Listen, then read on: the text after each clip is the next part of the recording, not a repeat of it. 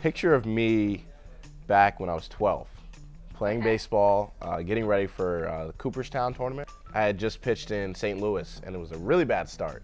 And I was talking with one of our relievers. I was like, man, like, I feel like I'm lost right now. But he was like, man, what would you tell your younger self right now? This is what I did. I put a younger picture of myself playing ball, and like ever since then, it's been my lock screen photo. My home screen, it is actually a quote from Kyle Boddy with Driveline.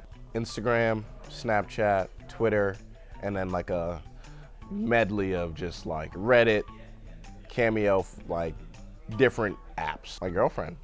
Actually, I just I FaceTimed her for two seconds to make sure my outfit looked good. Apple Music, and last song was Riptide by They. They just released a new album. It's like a R&B, all these different like gas rewards programs. Emails, 62.